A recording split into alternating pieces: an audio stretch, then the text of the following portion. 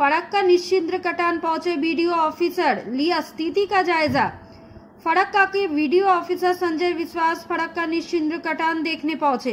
दरअसल शनिवार को झारखंड से आए पहाड़ी पानी की वजह से फरक्का निश्चिंद्र कटान सड़क डूबने के कारण फरक्का और झारखंड के बीच सड़क व्यवस्था ठप हो गई थी घटना के बाद से यहां आवाजाही बंद हो चुकी है जिससे स्थानीय लोगों को काफी समस्या हो रही है सोमवार को वीडियो ऑफिसर निश्चिंद्र कटान में पहुंचे और स्थिति का निरीक्षण किया একটা এ- এদিকে থেকে ওদিকে একটা গ্রাম বিচ্ছিন্ন হয়ে গেল বিশেষ করে নিশ্চিন্দা যারা ওদিকে থাকে দেওয়া ওয়ান জিপি বাসিন্দা যারা তারা তো মোটামুটি এই রাস্তাটা ইউজ করে তবে এই রাস্তাটা বেসিক্যালি পাবলিকের থেকে বেশি ইউজ হয় কমার্শিয়াল হইতে বেশি। আমরা যতদূর যা দেখেছি, আমি ডিএম স্যারের সঙ্গে ওখানে এসেছিলাম। ওই পাথর, খাদান এইগুলোই বেশি যায়।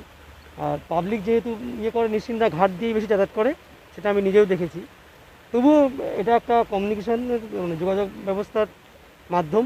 কারণ ওখান দিয়ে তো আর জরুরি রুগীকেও হয়ে যেতে পারবে না। এদিক দিয়ে দ্রুততার সঙ্গে যাওয়া যায়। অথরিটির সঙ্গে কথা বলি। কথা না বলে আমি আশ্বাস আশ্বাস দেওয়ার আমি কেউ নেই।